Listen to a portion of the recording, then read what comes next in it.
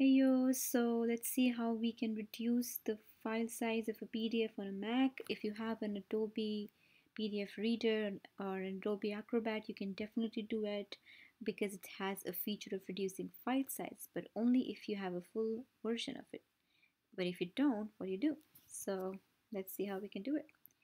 Open the PDF with the Preview app and click on File, Export, and under the Quartz filter, select reduce file size. This is as simple as that. Rename the file and save it. Let's see what it did. Right click and go get info. This was a 82.9 MB file and it reduced it to a 19.4 MB file. So now you can mail this to anybody if you want to. And yeah, that's how you do it. Comment, subscribe, thanks for watching. I hope it helped.